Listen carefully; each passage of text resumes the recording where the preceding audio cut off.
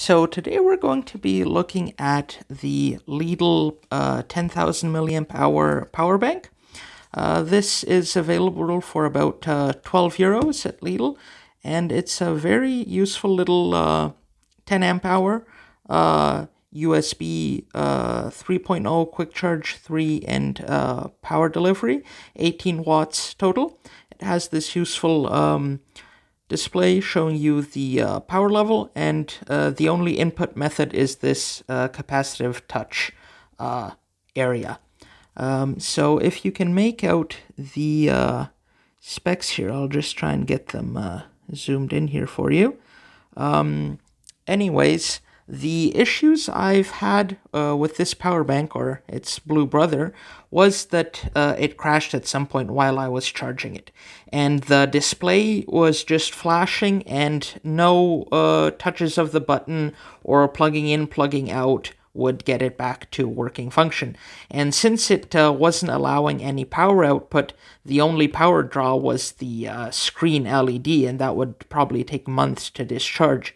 So uh, I was thinking that most probably it was the processor that got hung up and I needed to restart the thing. But as you can see, it's a fairly well sealed unit and difficult to get into. So after a bit of prying, as you can see here, this is the case.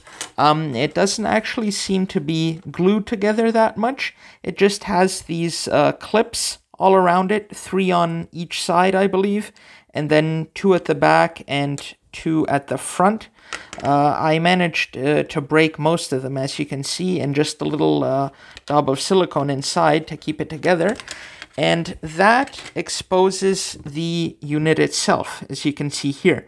So it actually uh, holds up its uh, capacity. So it's actually two 5000 milliamp uh, batteries, lithium pouch packs, one and two, stacked on top of each other.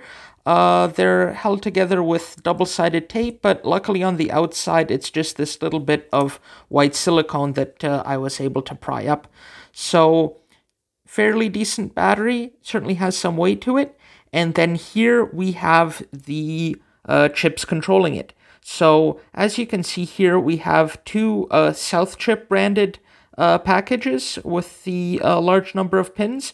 One is handling the buck converter uh, through this 2.2 microhenry inductor, and the other large chip is handling the power delivery system.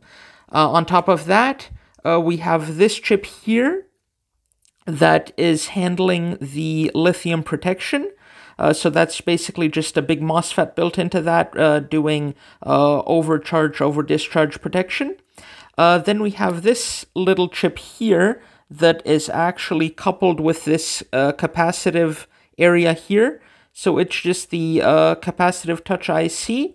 And then we have a whole bunch of these small double MOSFETs, 8205s. So we have three, four on this side and another one up here. These are 20 volt 6 amp double N channel MOSFETs, so they're obviously doing the uh, overcurrent uh, control and disabling the outputs if something's uh, not quite right. Um, here we have the uh, current sense resistors, the uh, 0.01 uh, ohm resistors here, and then we have this fairly curious charge seven segment display. So it's a two and a half digit seven segment display. But the curious thing is, is that it has its five connector uh, points here, which are the same ones that pass through here. And the whole display just has those five pins because usually a seven segment display you'd have to have the uh, seven pins for the segments and then either a cathode or an anode for uh, each display. So you'd expect to have at least 10 pins, which you don't have here. And I've probed around this area. These uh, ground SCL pads do connect to those pins. I've probed around with the oscilloscope, but I get really weird uh, uh, waveforms on there. So they're doing some kind of uh, multiplexing voodoo to uh, run this charge status display just through the five pins. So over to my issue I was having, this display was just flashing on and off, and there was no way to reset it. So uh, I unpacked uh, the system from its uh, plastic shell and I picked away the silicone on one of these uh, contact pads, so minus and plus coming out of the battery here. And uh, I was first thinking of just unsoldering these two connection ribbons to the battery to uh, take away power from the board and have it uh, reset the microprocessor. But unfortunately, these pads here seem to be uh, welded on. So uh, they've they've point welded these uh, on, and unsoldering, ripping them off would be uh, fairly difficult, probably damage the battery or pull up some tracks.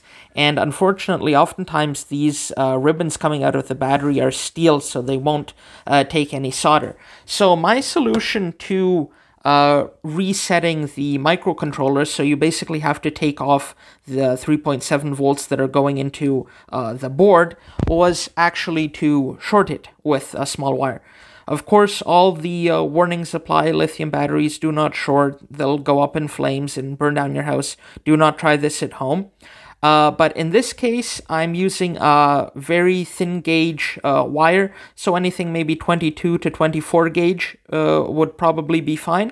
And the thing I did, I just shorted it super quickly, just maybe like half a second, just touch the connector on this uh, negative pad here and the positive ribbon here, and the short uh, length of wire here acts as a very low value resistor, obviously, and it pulled down the voltage to the control board uh, just enough for that short amount of time that the uh, CPU and the MCU resets itself.